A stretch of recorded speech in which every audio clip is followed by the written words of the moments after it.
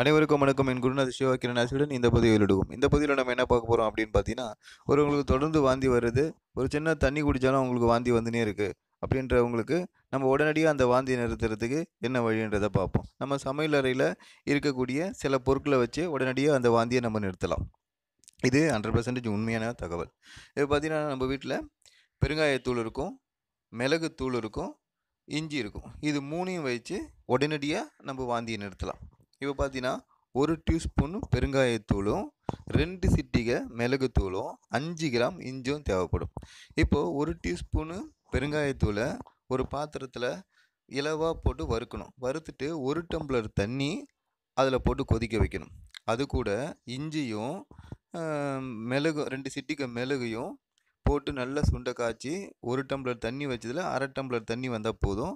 கொடுத்தீங்கன்னா எப்பேற்பட்ட வாந்தியாக இருந்தாலும் உடனடியாக நின்றுடும் இது கண்கூடான ஒரு உண்மை தான் அதே மாதிரி இதே போல் பல தகவல்களை கேட்க நம்ம சேனலை சப்ஸ்கிரைப் பண்ணுங்கள் கமெண்ட்ஸ் பண்ணுங்கள் லைக் பண்ணுங்கள் ஷேர் பண்ணுங்கள் அப்புறம் நம்ம ஏற்கனவே சொல்லியிருந்தோம் இந்த மாதிரி நிறைய தகவலை போடுறதுக்கு நம்ம கொஞ்சம் பொருளாதார நெருக்கடியில் இருக்கின்றோம் அன்பார்ந்த உள்ளங்க நம்மளுடைய ஜிபே காண்டாக்ட் பண்ணி எனக்கு சில பொருளாதார உதவி பண்ணிங்கன்னா மேற்கொண்டு நிறைய தகவல்களை போடுறதுக்கு கொஞ்சம் வசதியாக இருக்கும்.